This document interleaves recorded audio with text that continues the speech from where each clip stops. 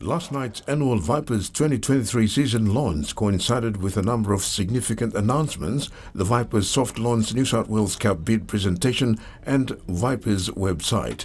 Apart from the main event, patron and NCD Governor Powes Parkop, in the presence of PNG RFL CEO Stanley Hondina and major team sponsors, made a bold announcement of the Vipers' next pathway, and that is to have a team in the New South Wales Cup competition sooner or later. Governor Parkop passionately spoke about his love for the game, the team, and the aspirations of our young boys and girls to advance and make a name for themselves playing at an elite level, either in Australia or the UK.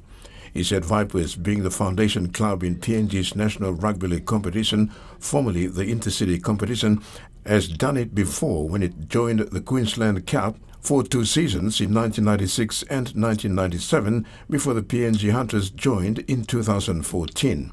Before making the soft launch of the New South Wales Cup bid presentation last night to PNG RFL CEO, Governor has this to say.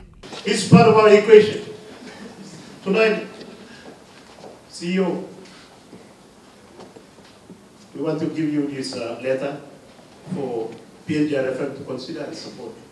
We are going to bid to join the New South Wales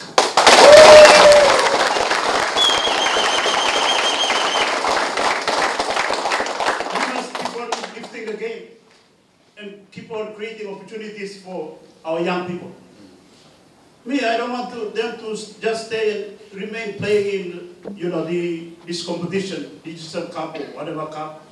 Yeah, we appreciate it. It's a great platform, but our young men and young women too for the future, they must have a pathway to go to wherever they can go. Governor revealed while initial discussions have started, it's a long process with specific requirements and compliances that have to be met. Back on the home front, Parkop said Vipers represents everybody in the city and challenged everyone to rally behind the team and be proud of the Vipers brand that is always setting benchmarks for the country. It's been 10 long years since the team last won the Cup in 2013.